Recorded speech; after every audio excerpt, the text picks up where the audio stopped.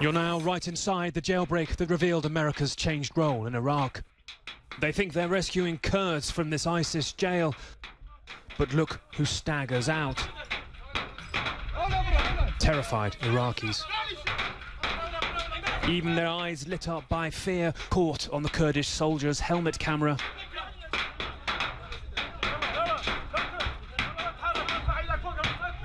It's edited, but US officials tell CNN it's genuine.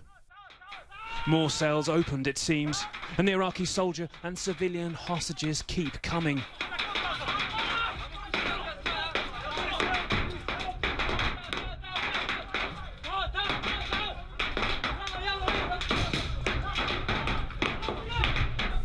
An office, an ISIS flag. More cells. And perhaps a target through the light of the door. Then a quick close up, likely of an American commando. Don't be afraid, he cries as they search the prisoners. Remember, they were expecting Kurds. Perhaps these men are ISIS, have guns or bombs. It's the Americans who seem in charge here. The captives' relief palpable. US officials saying they faced imminent execution.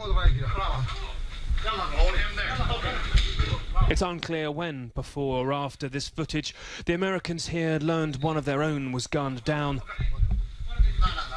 But their mission went on to rescue 70.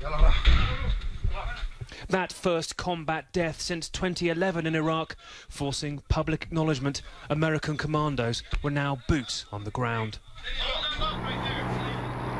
Now, Jonathan, actually, in just the last few minutes, uh, CENTCOM, American Pentagon, uh, have released a cockpit video uh, that seems to show, that they say shows a devastating explosion that they say hit, hit, in fact, that ISIS compound that you just saw in that video, destroying it once, obviously, uh, those American and Kurdish special forces had withdrawn. Now, uh, I refer to the casualty in that report there, the Americans sustained. That was Master Sergeant Joshua Wheeler, 39 years old, a veteran of 14 tours in Afghanistan and Iraq. Jonathan, remarkable. It gives you just a sense of perspective, really, on how lengthily engaged the US has been in what used to be the war on terror and is now that complex war fighting ISIS.